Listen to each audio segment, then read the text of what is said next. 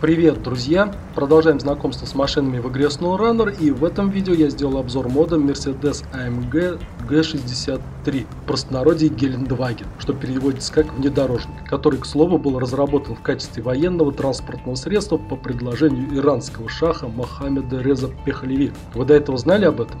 Я нет.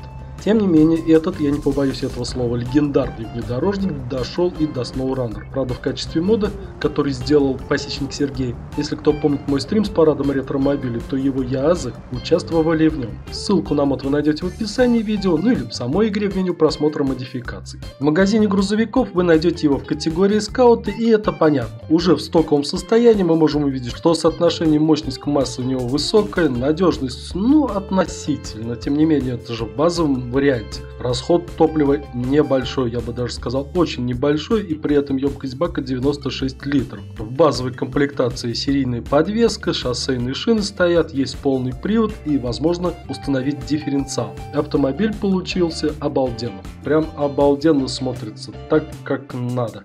Мне очень понравился внешний вид этого автомобиля, внутри в салоне очень интересно все сделано, все красиво. Прям чувствую себя новым русским, который заблудился где-то в лесах Мичигана и понтуется мимо пробегающих медведей и волков. Да, мы не так часто используем скауты, но тем не менее они бывают нужны для открытия новых карт, которые, кстати, уже на подходе, как обещали разработчики, будут уже в феврале. Ну а раз так, то пора подыскать что-то новенькое, интересное, с хорошим функционалом и проходимостью. И надо отдать должное этому Гелендвагену. Проходимость у него хорошая, и при этом нельзя сказать, что он читерский. Все модули автомобиля, по моим ощущениям, сбалансированы, имбалансных колес или двигателей нет, все в рамках приличия. Функционал хороший, но при этом с ним совместим всего лишь один модуль геологоразведки, а все остальное, что обычно прилагается для скаутов, отсутствует. С другой стороны, ребята, вы часто используете эти прицепы? Ну, кроме модуля геологоразведки. Хотя даже про этот модуль до сих пор появляются вопросы в комментариях, это мод или что? Или люди удивляются, что до этого они не знали об этом. Это не мод, это прицеп, который есть в игре. Подробнее о нем вы можете узнать из видео по ссылке в описании. И при этом я могу сказать, что я его чаще использовал, чем другие прицепы для скаутов. Так что отсутствие других прицепов, на мой взгляд, не скажется на вашей игре. Все, что нужно для исследования, у этого Мерседеса есть. Давайте теперь поближе познакомимся с ним. В тюнинге мы видим три двигателя. Первый это базовый, потом с большей мощностью и третий с большей надежностью. Три типа коробки передач, в принципе это как обычно серийный магистральный снегоход, подвеска тоже серийная, высокая и отрегулированная лучший вариант для сложной местности. Выбор шин здесь очень хороший. При этом есть шоссейные, вездеходные, внедорожные, для бездорожья и с цепями. Но наравне с теми колесами, которые у нас есть в игре, здесь есть и уникальные, вот как, например, эти. И есть еще с цепями. С цепями тоже очень интересные колеса получились, с интересной характеристикой. Вот, к примеру, вот эти колеса с разным диаметром, но суть одинаковая. На трассе среднем, на бездорожье хорошо, в грязи хорошо, на льду отлично. Опа-на, читерства не будет. Эй, ребята, 5 типов лебедки. Серийно удлиненная легкая, улучшенная легкая, автономная легкая, мощная легкая, дифференциал подключаемый, запасное колесо вот такое вот в чехле и два типа шноркеля. Первый вариант подороже и второй подешевле и пониже. Из модулей кузова два багажника с ремонтными частями.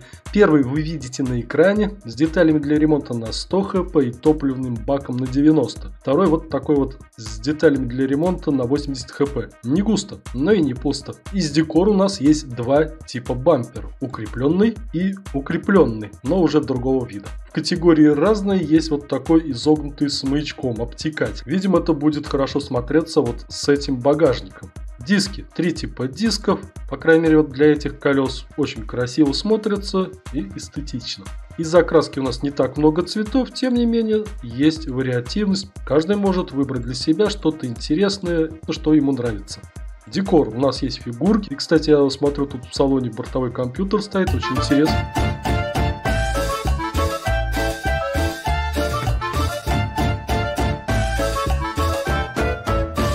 Алмаз Мухаммедчин, спасибо тебе за подписку. Я очень признателен тебе за это. Но продолжим тему. У нас вот я смотрю есть бортовой компьютер, интересно будет ли отображаться карта на нем, но скорее всего нет, это просто декорация. И есть фигурки. Джокеры, таксы Гавайи, аксессуары, ну собственно то, что по умолчанию сейчас есть в игре и скорее всего добавятся те, которые появятся на Висконсине. Внешний вид тут все как обычно, наклейки, новых я не заметил здесь, украшения на капот тоже из игры. Тем не менее, как по мне, это достаточно, как вам, я не знаю. Пишите в комментариях. Будет интересно узнать, ребята, кто из вас использует декор.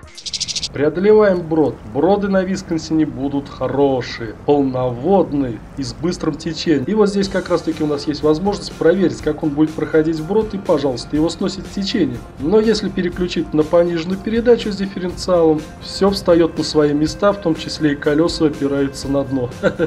Это хорошо. Грязевые ванны любой скаут принимает часто, и это надо учитывать. Учитывать особенно, когда въезжаем вот так вот в глубокую грязь, и это вот интересно, как он пройдет или не пройдет. Но я смотрю ему, по-моему, по барабану. Не столь шустро он движется, но тем не менее он движется и проходит эту грязь. Насколько я понимаю эту ситуацию, пройдет он по этой грязи достаточно легко и проворно. В любом случае, проходимость автомобиля на лицо, и это главное. И что самое интересное, нельзя назвать его читерским. Камни это то, что достает всех, они разбросаны везде, по всем картам, их много, а в некоторых случаях даже очень много, и автомобиль должен уметь проходить по этим камням хорошо. И этот автомобиль прошел на ура. Но если мы поедем вот по этим трубам бетонным, которых я называю лежачими полицейскими, то выясняется, что он сел на пузо или нет. Хорошо, как он интересно пляшет и стукается. Но тем не менее, кое-как мы проползли с ним по этому препятствию и вроде бы проползаем. Вот если появится что-то наподобие этого на карте, то, наверное, все-таки ему будет сложновато. И даже вот этот укрепленный бампер не помог ему защитить мотор. То кочка, то яма. Другое не менее интересное препятствие на этом тесте полигоне – но иногда и даже такое встречается на картах. Ну или что-то наподобие этого, и пожалуйста, пожалуйста, смотрите, как он хорошо проходит. Проходит он с интересом, с прыжками и, в общем-то, не без травм на производстве. Но раз у нас поломки случились, то, соответственно, надо отремонтировать автомобиль. Сможем ли мы это сделать на ходу, сейчас проверим. О, да, мы можем заменить колесо, но нам его не надо запасное колесо ставить. У нас есть багажник с ремонтными частями, как я уже говорил, на 100 хп. Мы спокойно чиним и едем дальше по ленинским местам.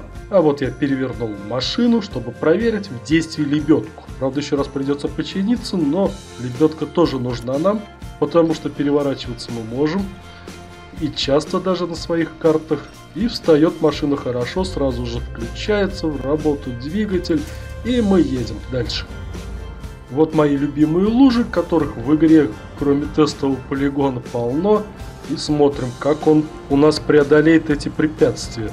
Ну, лужа это не глубокая, зато такая противная, мерзкая и склизкая. И здесь вот у нас глубокая лужа, причем я бы даже сказал очень глубокая и вязкая. Преодолевает он его достаточно быстро, но тем не менее мы проехали по этой луже, можно сказать, уже заранее. Причем проехали мы не на пониженной передаче, без дифференциала, а просто. Давайте посмотрим болото. Болото Болото дом для бегемота, как говорил Бомбина любимая обезьянка Фокуса Мокуса. Ну вот насчет джипа Гелендвагена, не знаю, дом это будет или нет, но по крайней мере, пока мы едем, при этом опять-таки я не включаю пониженную передачу, и по-моему я даже вполне хорошо проехал вот по этой самой жиже болотистой. Хотя вот тут пришлось все-таки переключиться на пониженную, и автомобиль удачно выбрался из этого болота. Для теста я собрал топовую комплектацию и по окончанию тестирования я могу высказать свое мнение, что из себя представляет этот автомобиль. Да, кстати, не забудьте подписаться на мой канал, если еще не подписаны, и нажать колокольчик, чтобы не пропустить другие мои обзоры новых модов в игре SnowRunner. В целом автомобиль, его внешний вид, функционал и характеристики хорошие. К разработке мода автор подошел грамотно, не стал делать из него имбу, но при этом сохранил хорошие качества, важные для игры. Есть уникальные аддоны, которые позволяют улучшить его до нужного уровня. Может быть их и не так много по сравнению с другими, но этого хватает в полной мере. Собственно, сами попробуйте и не забудьте рассказать свои впечатления в комментариях. А на этом все. Спасибо за просмотр. До новых встреч.